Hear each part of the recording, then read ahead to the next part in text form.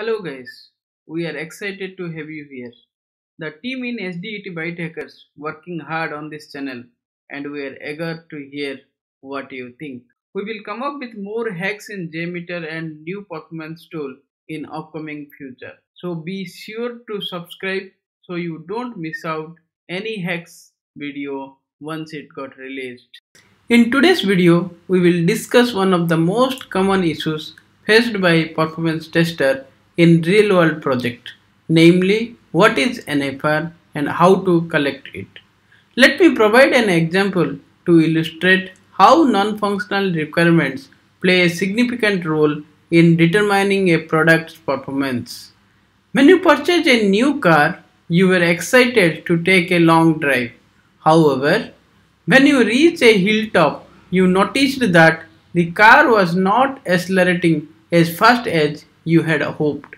This is an example of a non-functional requirement. There are a lot of products that fall in the market since they are not meeting the required performance of the product or any testing glitch that causes a significant impact on the product failure. Before performing any workload modeling for performance testing, it is important to grasp the NFR in depth. Workload modeling is the key here and we will discuss it in a future hack video. Let's take a look at the NFR in detail. A business requirement are split into two categories. One is functional requirement, another is non-functional requirement. Normally, functional requirement target what the system should do and non-functional requirement target how the system should do it. Let's take an example. When a customer register on our site, then a notification will send over to his or her email and phone number. This is the functional requirement of my application. Whereas the notification must be sent in 2 seconds after the registration. That means non-functional requirement describe how quickly the notification must be delivered to the customer in my application. This example give more clarity on the difference about functional requirement and non-functional requirement. In this slide, we will discuss non-functional requirement. There are three main pillars that non-functional requirement target. The first one is usability. It means easy to interact with product. The second one is reliability, product vulnerable point and solution. The last important pillar is performance, which signifies the speed of reaction. In non-functional requirement, some of the goals are time bound, like the response time of a page, request per second, resource utilization, right? Whereas some of the goals are load bound, like real world user load, throughput, etc. Some simple examples of non-functional requirement are the number of users handled by the application, page response time, number of requests processed by the application per unit time, CPU utilization, memory utilization, and error rate. We now have a thorough understanding of NFR requirement. Let's look at what are the key elements to keep in mind when collecting NFR data from the business. The key focus point while collecting these NFR details are infrastructure details, transaction details, scalability related data, workload related data, data related to response time and other matrices. Let's please examine each element in detail to understand this better in the further slides. Let's discuss infrastructure details. As part of NFR gathering, PT team is supposed to capture the configuration details of both production environment and performance testing environment. Let's see what are the key points we need to cover in infrastructure details. The key points are how many web servers, how many app server, is there a load balancer, what is the configuration, operating system of each server like OS version, Normally the OS version are Solaris 9, AIX, Red Hat, Linux, right? How many database server this infrastructure is containing, hardware configuration of each server like number of CPU, speed, memory. For example, 1.7 GHz processor with 64 MB cache like 16 GB memory, 100 GB hard disk, right? Support software on each server like a with versions like a web server, database server, WebLogic 8.1, premium server, Oracle 10G Enterprise, right? Note that normally OS are Linux or Solaris because it is fast and secure. So you have in mind like who will give this infrastructure details to us. So the key contact point to get the infrastructure details is the infrastructure team of your organization. Let's discuss transaction details. As part of NFR gathering, PT team is supposed to capture list of performance critical transactions. What are the performance critical transactions are? Transactions which are executed frequently, transactions which are critical for business, transactions that are suspect to have high resource intensive requirement. Take an example of a Gmail application. You are having 1000 test cases to test the Gmail application. So what are the transactions we need to take into consideration while doing a performance test? Shall we take 1000 test cases? No. We don't consider all the test cases for performance testing, but probably 100 or 100 to 150 of them. So how we are segregating test cases based on which criteria to reduce from 1000 test cases to 100 or 150.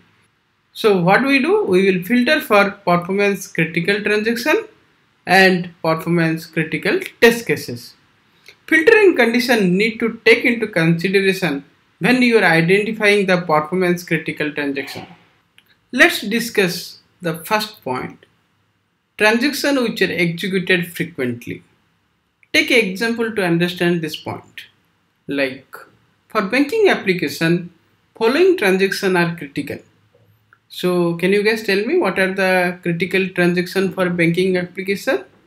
So the critical transaction might be account summary details, checking transaction history, balance transfer, login and logout.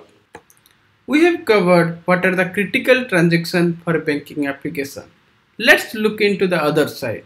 What are the transactions which are not critical for a banking application? Those are change password, change username, change theme, order checkbook, open a new account.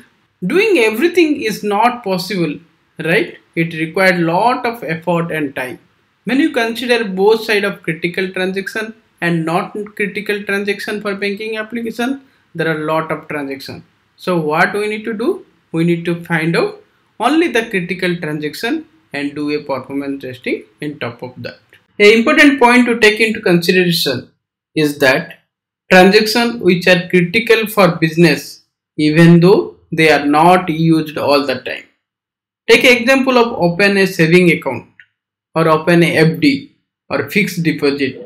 So these are considered for performance testing because revenue is made from this, not for withdrawals, but from the deposits from the new accounts. So even though this number is very less, it does not happen frequently, but we still need to consider for performance testing. Okay, there will be a one more condition to find out the critical transaction is that which transaction is directly proportional to money or grow your business. Those transactions are also considered as a critical transaction. That transaction need to be considered for performance need. Let's discuss the third point. Transactions that are suspect to have high resource intensive requirement. Let's understand with an example. Sometimes customer requested bank to provide the transaction history for last 5 years. Do you think this example should it? This is not a frequently used transaction but it is highly resource intensive because getting all transaction details for last 5 years takes some time to generate and sent to the requested customer. You might have faced the same situation when you are trying to access last 5 year transaction in your net banking. Whenever you are requesting your transaction history for last 5 year or last 10 years, right? You will send the request and wait for the report to generate. So in the online transaction, you can able to see that after you submit the request, it will give a pop-up message stating that please visit after some time to download your report.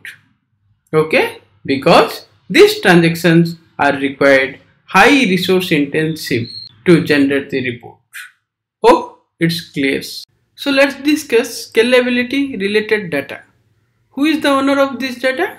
Performance team is supposed to capture the future user volume and growth.